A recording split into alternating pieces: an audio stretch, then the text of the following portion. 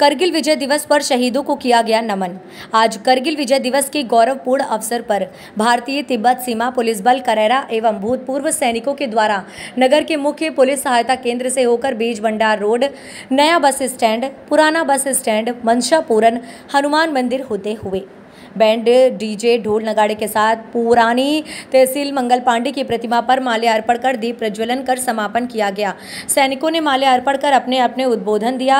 भारत माता की जयकारे लगाकर तिरंगा लहराकर सर्वोच्च बलिदानों वीरों को नमन कर श्रद्धांजलि दी गई। भारत तिब्बत सीमा पुलिस बल के सैनिक भूतपूर्व सैनिक मान सिंह फौजी, कुलदीप मिश्रा, पुष्पेंद्र जोशी, संजय फौजी सहित आधा सैकड़ा से अधिक लोग उपस्थित हुए। संवाददाता संजय गुप्ता की रिपोर्ट।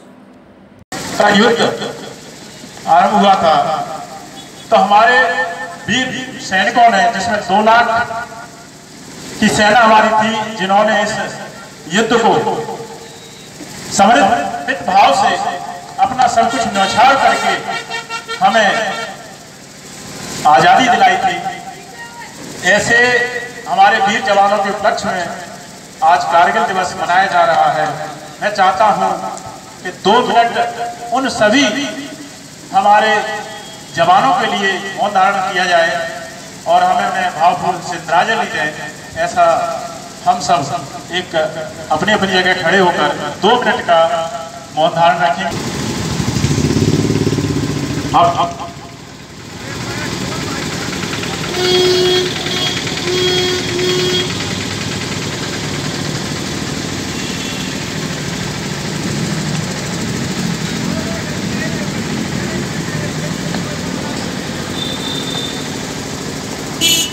भारत माता की भारत माता की वंदे मातरम वंदे मातरम वंदे मातरम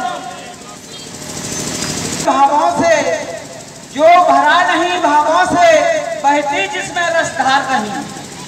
जो भरा नहीं भावों से बहती जिसमें रसधार नहीं, वह हृदय नहीं, वह पत्थर है। वह हृदय नहीं, वह पत्थर है। जिसको स्वदेश से प्यार नहीं, जिसको स्वदेश से प्यार नहीं। उपस्थित समस्त भूतपूर्व सैनिक और वर्तमान सैनिक जन करारा नगरवासी सभी उपस्थित इस समारोह में मैं सभी का तहे दिल से हार्दिक स्वागत, वंदन एवं अभिनंदन करता हूँ।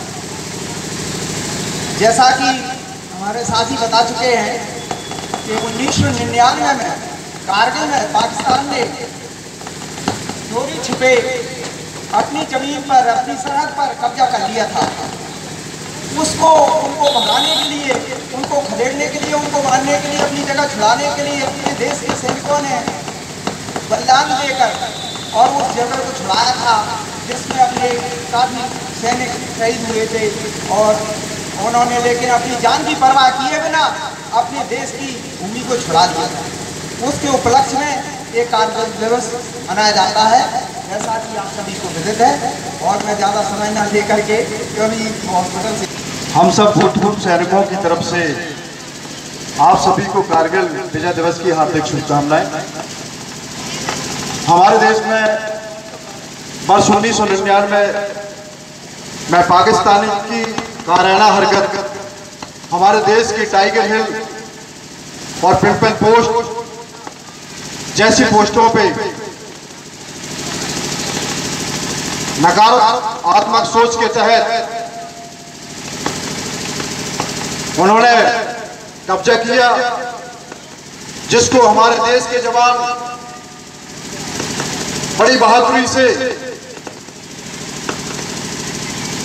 क्योंकि जबकि वो ऊँची पहाड़ियों पे बैठे थे, अठारह हज़ार फुट के फुट पे बैठे हुए थे पाकिस्तानी, क्योंकि बर्फ़ के टाइम में दोनों ही देश की सेनाएँ नीचे आ जाती हैं।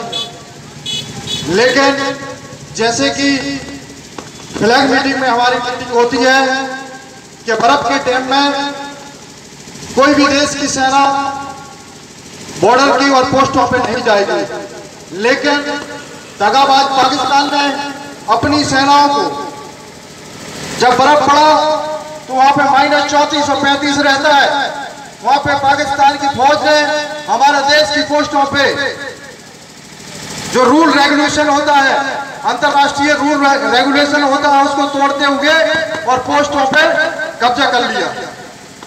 कब्जा करने के बाद जब हमारी पेट्रोलिंग टीम को पता चला कि देश के सरहदों को पाकिस्तान ने कब्जे में ले लिया तो हमारे देश के जवानों ने बड़ी बहादुरी से हमारा सैनिक जीवन बहुत ही महत्वपूर्ण होता है देश के लिए। आज जो हम खुली हवा में सांस लेते हैं, देश की हर चीज़ लोकतंत्र और देश की उन्नति की बात करते हैं, वो सिर्फ़ और सिर्फ़ देन है तो हमारे देश के बहादुर जवानों की देन है। मेरे साथियों, हमारे देश के जवानों ने जब वहाँ पे, क्योंकि पोस्टों पे भोजन नहीं पहुँच सकता, वहाँ पे खाना नहीं पहुँच सकता तो हमारे देश के जवानों ने जो हमारे पास कॉलगेट होता है ना कॉलगेट, उसको खा के उस देश का युद्ध लड़ा है मेरे साथियों। जो क्योंकि वहाँ भोजन नहीं पहुँच पा रहा था, माइनस चौतीस था, वहाँ पे माइनस चौतीस में आप एक घंटा अपनी फ्रिज में हाथ नहीं रख सकते। लेकिन वो जवानों को मैं धन्य देता हूँ, उन जवानों को मैं सल्यूट करता हूँ जिन्होंने माइनस चौतीस की डिग्री में अठारह हज़ार की फुट फुट की ऊंचाई को पोस्टों पे जाकर पाकिस्तान के इरादों को, पाकिस्तान के नापाक इरादों को ध्वस्त किया और देश को 26 जुलाई उन्नीस सौ निन्यानवे को हमने पुनः अपने देश की धरती को छीना और पाकिस्तान को हमने खदेड़ कीदों की तरह खदेड़ के अपने देश का तिरंगा बुलंद किया। मेरे साथियों, आज हमारे हम भूतपूर्व सैनिकों की तरफ़ से पहली बार ये कारगिल विजय दिवस के रूप में मनाना जा रहे हैं। अभी शायद हम भूतपूर्व सैनिक कम है। और क्योंकि किसी ने पहली बार हमारे मिश्रा जी ने हमारे आदरणीय कुलदीप मिश्रा जी, इनके लिए भी जोरदार ताली